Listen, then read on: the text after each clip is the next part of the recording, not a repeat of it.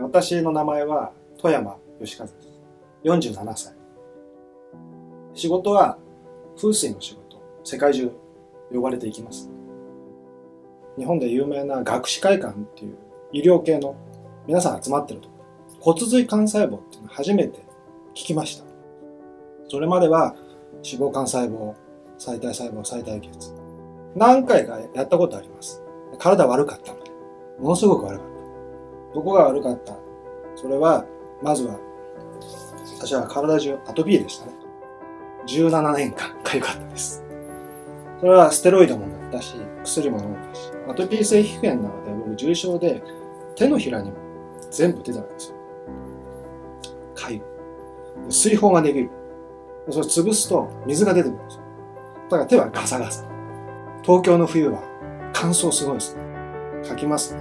血が出ますね。か、かさぶたになってガサガサ。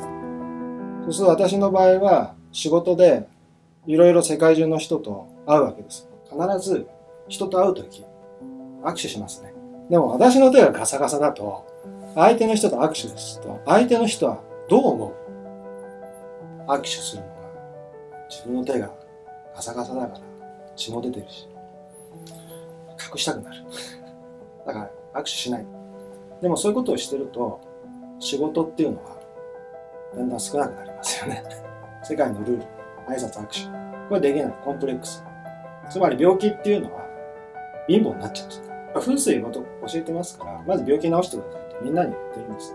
でもアトピーっていうのはもう15年16年17年治んなかった。ですけど骨髄幹細胞を受けてからまあおおむね多分2ヶ月から3ヶ月目ぐらいにもう全然痒くないわけですよ。まあ最初痒くないのもすぐね2、2週間ぐらいでなったんですよ。そっからだんだんだんだん良くなって、今ご覧の通りですね。でまだ若干ちょっとありますけど、少しですね。だけど、昔の私に比べたら、もう、びっくりですよね。ある時息子が手繋いだら、こういうわけですね。パパ、パパの手がツルツルになったんだって。あ、これは嬉しいですよね。息子も分かってたわけですよ。自分のお父さん、パパが手がガサガサ。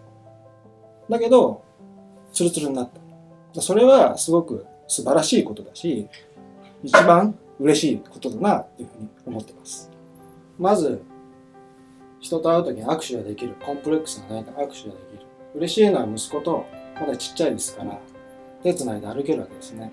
で人間嬉しくなると、もっと前向きになるじゃないですか。じゃあ、息子と遊びに行こう。その時に考えたのは、昔もよく釣りやってましたから、息子を釣りに連れて行くわけですよ。アトピー治ってますから、いろんな魚って餌つけるんですね。でもそれでもアレルギー反応起きない。だから餌つけて、魚釣って楽しめる。だからもうこれからは釣りもいっぱいしたいし、前みたく、息子とも行きたいし、友達とも行きたいし。それからもうお仕事。もう外国の人と会っても、まあ、自分から手出せるし、握手できるし。おかげさまで、金太郎細胞入れてもらったおかげで、お金は儲かる。仕事は増える。だから気持ちは前向きになる。だから遊びたいし、仕事したいし、やる気が出る。死ぬまで多分私は金太郎細胞を入れ続けると思います。いろんな人がこういう細胞がいい、ああいう細胞がいいって言うんですけど、私はいろんな細胞の中から金太郎細胞と出会って入れてみて、結果良くなって、そういう気持ちになったので、これが一番おすすめします。